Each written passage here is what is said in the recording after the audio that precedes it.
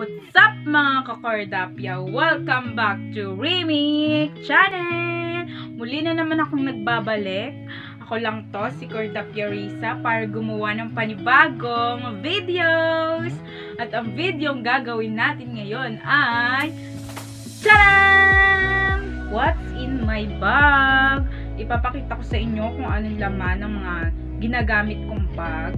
At bago muna yon, syempre, intro, pasok!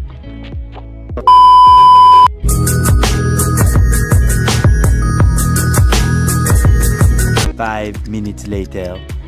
So, ayun guys.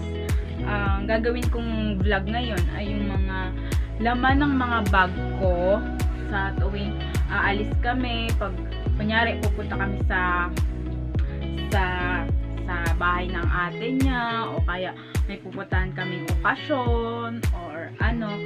Actually, hindi ito yung mga ginagamit kong mga ano, mga ito yung ginagamit kong bag kasi ano siya, may mga iba pa akong bag. Pero it- ito lang yung ipapakita ko sa inyo yung mga bag na lagi kong ginagamit. So, ito, last na natin to. Kasi may ginagamit pa akong isa. So, ito muna yung bag na ginagamit. So, ito.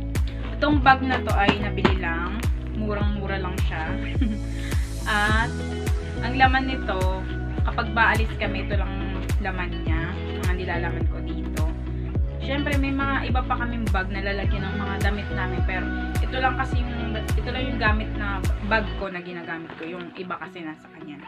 So, first, na, kaila, na nakalagay dito sa aking backpack ay um, ito ang aking toothbrush. Siyempre, kailangan natin mag toothbrush para kapag may kausap tayo, alam nyo na, fresh, para hindi maglayo yung kausap natin. So, ito yung lalagyan ng toothbrush ko.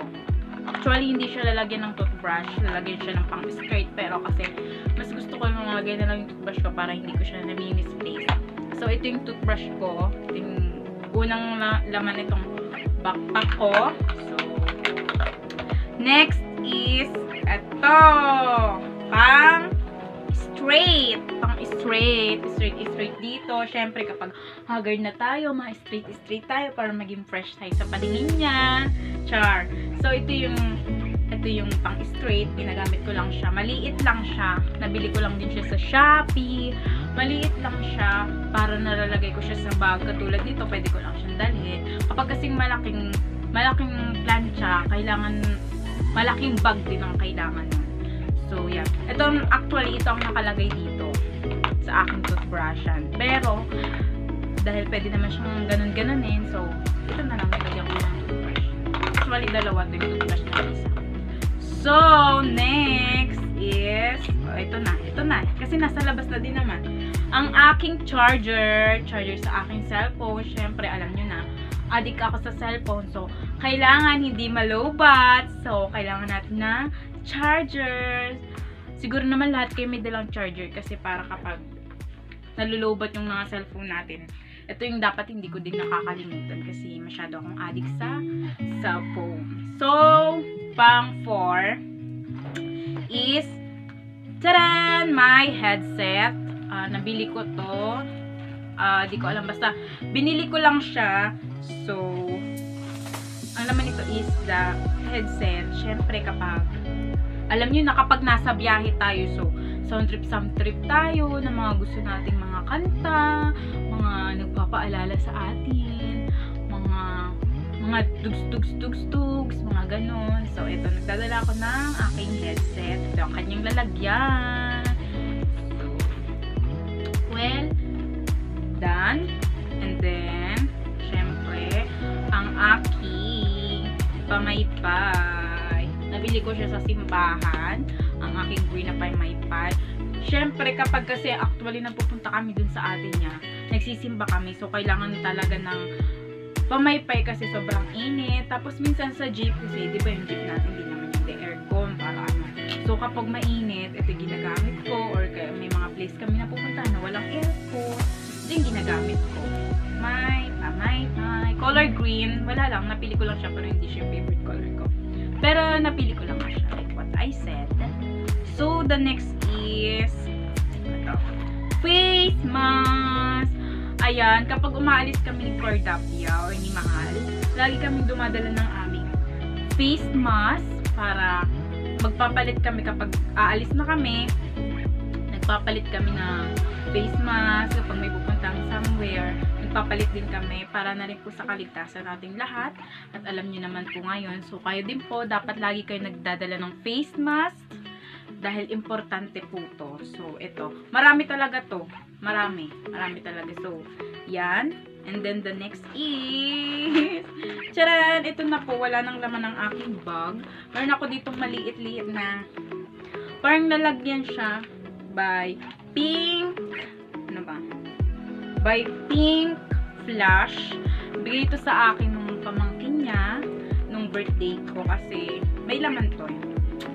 Kasi mahilig nga ako sa makeup. So, this is my first na laman nitong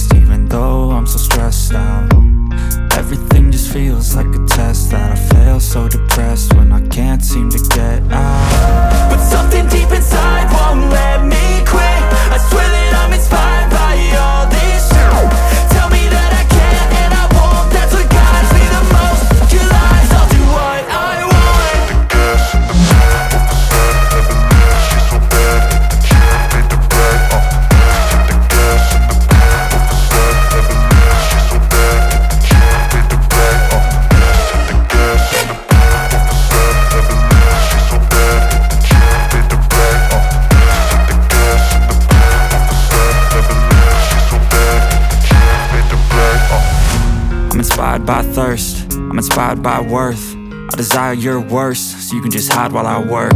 I ain't tired, you first. I'll write a second, third verse about the lies you go disperse. You never did I know it hurts.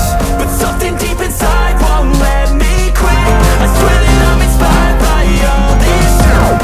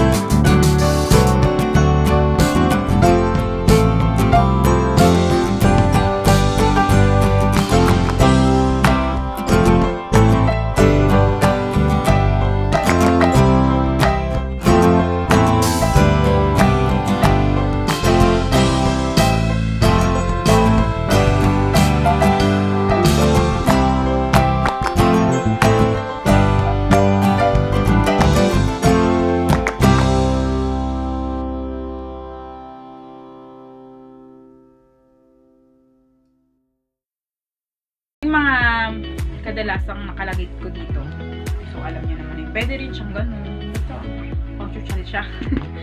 so, this is my bag. At ito ang naman ng aking bag. Siyempre, yung panyo kapag pinagpapawisan ka. Kapag pagod ka na, kailangan punasan mo yung mga pawis. Char.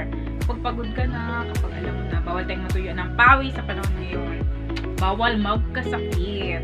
And the next is, ito, may alcohol. Lagi tayong may dalang alcohol. Kahit naman yata sino ay may dalang alcohol para ligtas tayo kapag kapag may nakapitan tayong somewhere, something, tapos mga alcohol, alcohol lang tayo, tapos gaganahin natin sa kamay natin. Basta, lagi kami may dalang alcohol kasi for safety na din, katulad ng face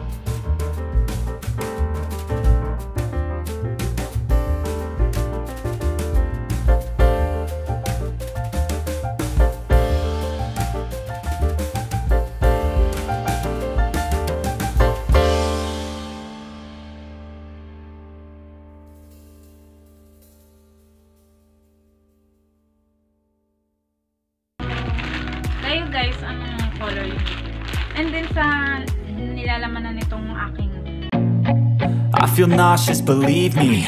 Never had a lot of shit come easy. Had to work hard, struggle just to be me. Had to rise up just so they could see me. Did what I had to do just to feed me. And what was left over I put towards my dreaming.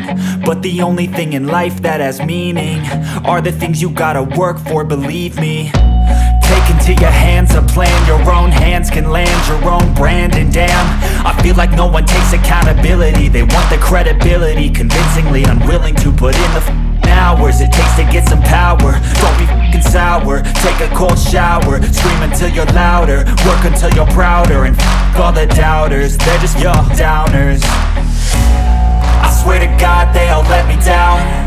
I always fought just to wear the crown. I'm f***ed off at these fucking clowns. Who were all taught they deserve an ounce. It's only worth it if you work for it. It's only worth it if you work for it. I won't stop till they hear me now. I won't stop till I wear the crown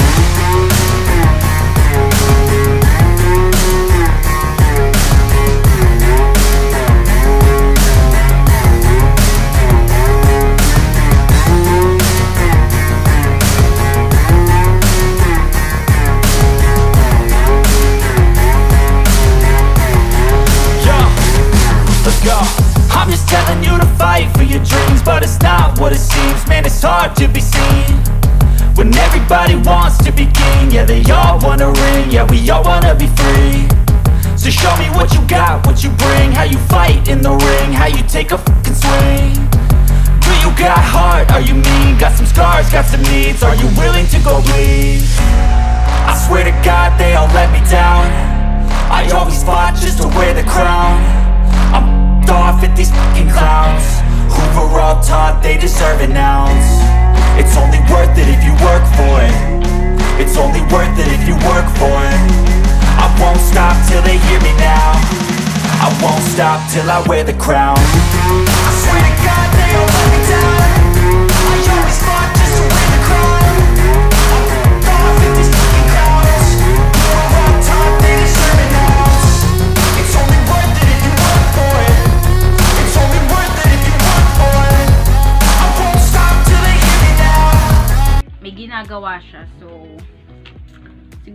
gagawa pa kami ng maraming vlog.